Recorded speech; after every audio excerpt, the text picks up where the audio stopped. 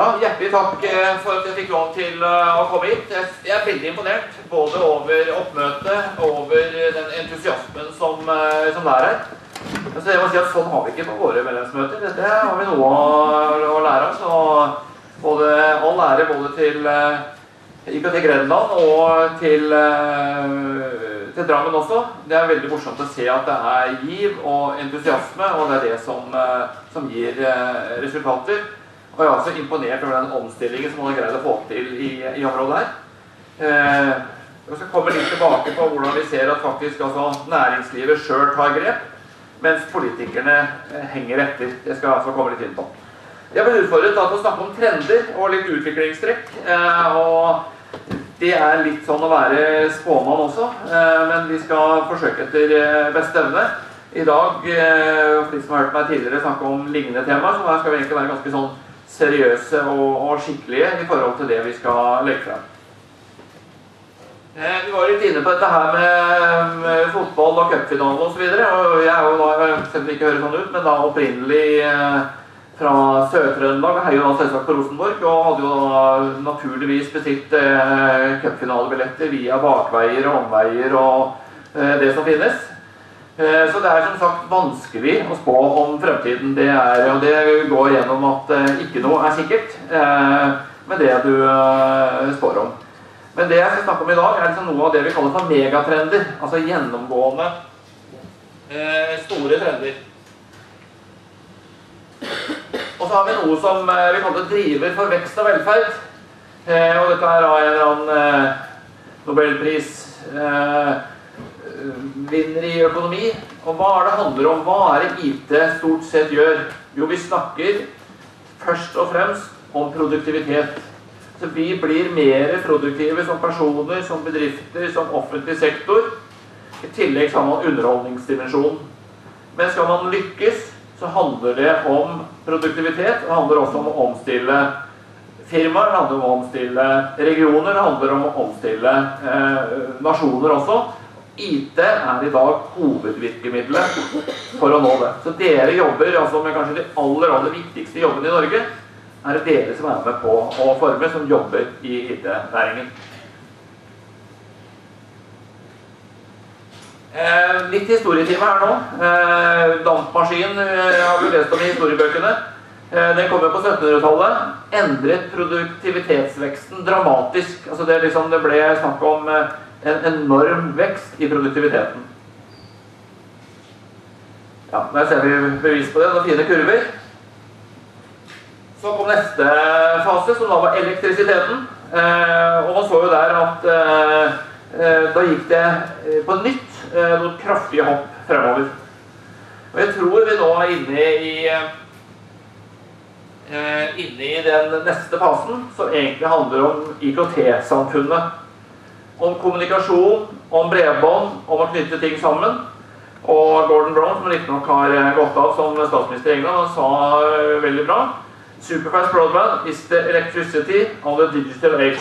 Altså Vi er nå over i den nye fasen. Dampmaskin, elektrisitet og superraskt bredbånd.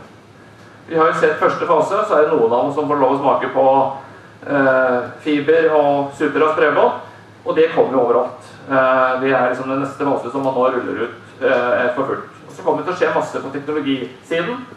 Som vi ser med, med noe av årsaken også til at uh, videokonferanser er tatt ut. Nettopp fordi vi har fått linjer som er bedre. Vi har ikke de stakkato bevegelsene som vi så i gamle dager når vi satt på, på videokonferanser og syntes at dette i hvert fall som regel var ganske vanskelig å forholde seg til. Uh, så fremtidig vekst i produktivitet det vil primært komme gjennom mer og bedre bruk av IKT. Det er egentlig grunnlaget. Vi syns at dette her burde politikerne ta hardere inn over seg. Altså Vi hadde senest i, i Var det i går eller var det i dag? Jeg tror det var i går. Så sto det en stor artikkel om Trond Giske som næringsminister. Ble holdt et foredrag på, på BI eller på Handelshøyskolen om liksom hva skal ungdommen satse på. Eh, og det blir mer global konkurranse. Men det var ikke ett eneste ord om IT. Altså selve driveren for samfunnsendring. Nei, du må satse på skipsnæring, på rederier, på olje og gass, eh, på primærnæringer. Dette er jo det som endrer olje- og gassnæringen. At du går fra offshore til onshore. Altså Norske politikere må komme seg ut av tornerosestøtten. De tror at vi lever fortsatt i industrisamfunnet. Og se på de områdene som har vært store industrisamfunn. Og dette er ikke at det har vært noe bedre om det har vært andre regjeringer. altså Det har vært akkurat det samme når det har vært borgerlig regjering som det er nå med Arbeiderpartiet eller den rød-grønne regjeringen. Det er politikerne generelt vi må, vi må, vi må vekke. Se på grenlandsområdet, hva man har greid å skape med eh, omstilling. Det er IKT-bedrifter. Se på Union. Alle husker jo Union, særlig i området her. Eh, og alle politikere gikk jo ned og la Union eh, leve, var jo liksom slagordet. Eh, og i dag er det jo også flere arbeidsplasser, høyere verdiskaping, enn det var da papirmølla gikk for fullt. Rena har opplevd det samme. Samme i Kristiansand med Falcon. Eh, altså da det ble tilgjengelig ny kompetanse, ledig arbeidskraft, så vokste samfunnet, og man gikk tok noen steg videre. Så det er en rekke områder her som vi skal uh, se på i forhold til bare liksom, eksempler på, på, hvordan IT kommer til å overta og styre. Allerede i dag er kanskje allerede det viktigste, men vi snakker om smart trafikk. Vi snakker om en mer integrert oljeindustri. Man flytter fra offshore til onshore. Man snakker om mat, om sporing, tracking og tracing av mat. Uh, det er smartere helsevesen. Er smartere, smartere bruk av energi en rekke områder som ligger rundt dette her. Altså, det er en stor diskusjon nå innen enkelte fagmiljøer som dessverre ikke har nådd ut til politikerne, er overhodet grunnlag for å bygge monstermaster eller sjøkabel over til Bergen. Smartere bruk og styring av energien gjør at det kanskje er helt unødvendig. Og hva er det som ligger bak? Jo, informasjonsteknologi hele veien. Så litt om, eh, om meg. Nå ser jeg at skjermen blir litt ute her, men uh, det beklager Men det, det, så veldig bra ut på inntil vi slo på og kobla oss til der. Men megatrender er iallfall ting som, som, endrer samfunnet, og som er helt grunnleggende i forhold til hvordan store endringer kommer. Det er ikke noe som jeg eller du eller dere kan påvirke. Det er trender som egentlig er ustoppelige. Og de store trendene som vi ser nå, det er egentlig da i hoved, som jeg skal komme litt tilbake til, en for en, men det er industrialisering av IKT. Det er deling av tjenester fremfor å kjøpe handelsvarer. Altså forskjellen fra å laste ned filer på nettet, og istedenfor at man da trykker CD-er og distribuerer ut hundrevis av butikker rundt omkring i, i verden.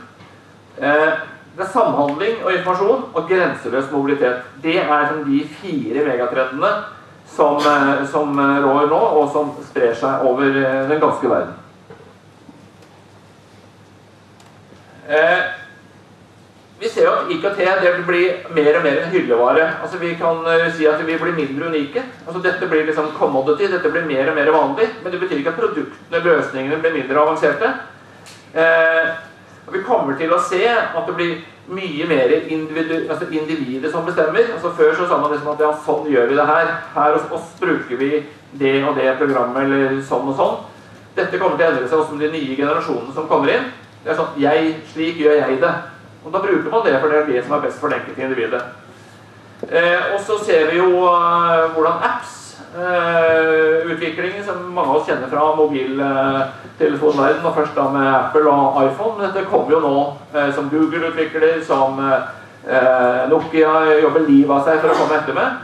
Og så har man jo åpnet nye forretningsmodeller, også for å ta betalt. for Hovedårsaken til at Apple lykkes, at man nå har iTunes som forretningsmodell liggende bak. Og som er ganske, ganske genial. Vi kommer til å se veldig mye utvikling tror jeg, i den apps, og vi kommer til å se at vi kommer til liksom å plukke fra øverste hylle hele tiden. Hva er nyttig for oss, hva er underholdende, hva er, eh, er nyttig. Men IKT kommer til å bli mer og mer ren hyllevare. Altså Hvorfor skal man bruke enorme summer på spesialutvikle ting, når du faktisk kan bare ta det ned fra en apps eller fra hylla eller laste ned fra nettet, ting som allerede er utviklet og i bruk. Så har vi det som kalles for delte tjenester, eller shared services, som det heter på, på nynorsk.